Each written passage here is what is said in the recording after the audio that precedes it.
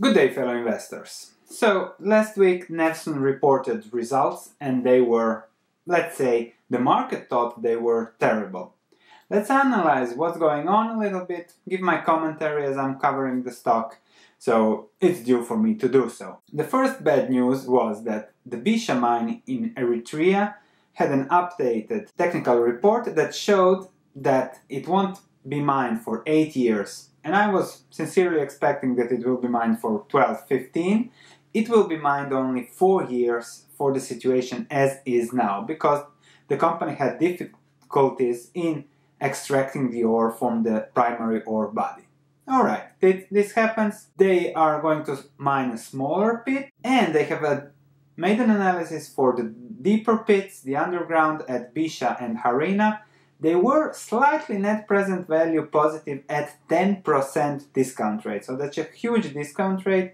Nevertheless, that's that depends on future metal prices and on the risk. So the company decided to use the capital for Timok and to leave Eritrea to be seen later. Nevertheless, let's see the value of Eritrea, what's left. In this table shows the life of mine revenue expected for the company 1.3 billion in total for the next four years. Per year, the highest 2018 and then declining 2021, only mined for half of a year. When you look at the costs of those mining, you can see that the margins are pretty pretty stable for the whole mine and very positive at current metal price. I have made a little table, how does this look like? From the revenue, taking the cost, the investments, the royalty, we come to operating profits, paying taxes, deducting the minority share from the Eritrean government, and we come to a per share cash flows or of 21 cent per share, 40 cents in 2018, 20, 23, and 3 cents in 2021. Discounted 10% present value in total is 85 cents per share. So if they continue with Bisha as is, improve the recoveries of the metals, the present value of Bisha is 85 cents.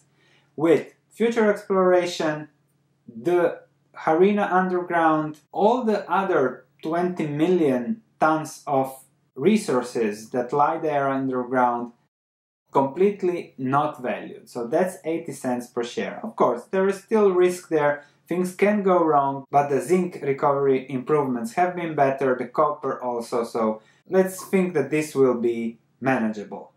If there is some new exploration, some new oxide ore like Bisha mine was at the beginning in 2013, then the upside is very large. Of course, to conclude, there is still a lot of risk.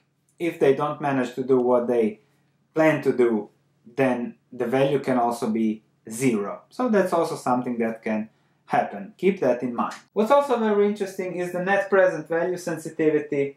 If we look at the mine plan and what's going on, higher prices than they used in their analysis, so $1 for zinc and 270 for copper, we are already at much higher prices, increase significantly the net present value of the mines, even 226% if copper prices go much higher to 3.5. So there is still potential to bet on Bisha.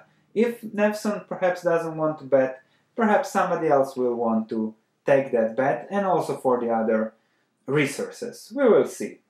Nevertheless, the new CEO, Peter Kukielski, is making a clean start. So very interesting how he approaches Nevsun as a company and what is he doing. The second thing that was not nice, but okay, we can accept it, was the delay of the pre-feasibility study at the upper zone of Timok.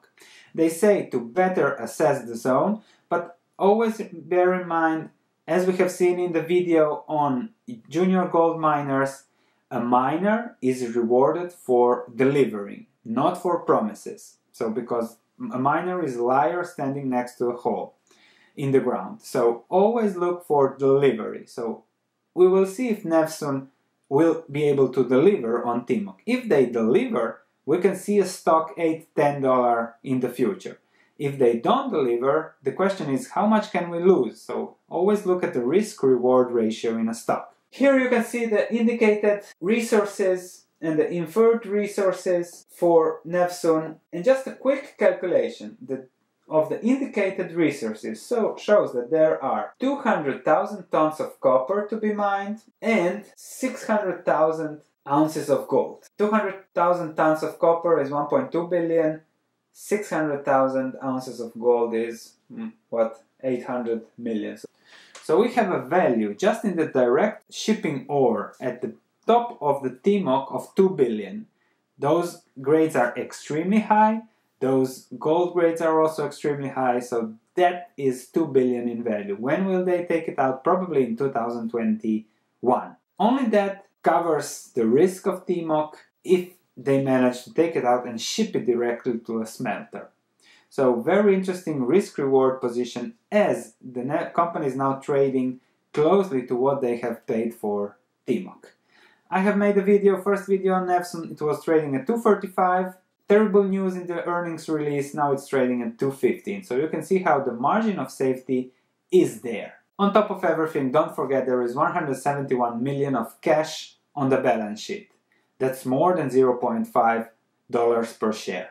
So to conclude, remember Nevsun is a miner. Miners are very very risky, very very volatile in the short term. I like to look at from a perspective okay, what can I lose? Now I can lose if everything goes terribly wrong, $2. What can I gain if in the next four, three, four years Nevsun really develops Timok, if they find something new next to Timok, some interesting other high grade zones, then we are looking at the 5, 8, 10 dollar stock.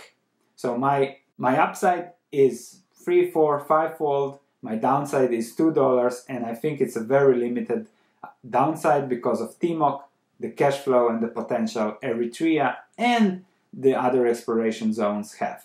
So always think, yes, there is risk. Short-term volatility is given. There will be always short-term volatility. This is especially interesting for traders. Long-term investors, okay, I understand the risks, the margin of safety, and the potential upside. However, you have to check with yourself if you can take it and if your portfolio can take such volatility.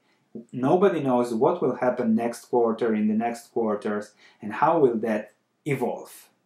In the past, I have always looked at Eritrea with a heavy discount because of the political issues. Now that they cut the life of mine at Bisha, we can say, okay, Eritrea is de-risked. Now the company is mainly focused on Serbia. So again, different perspective. I don't know what will happen. I don't know where the stock price will go.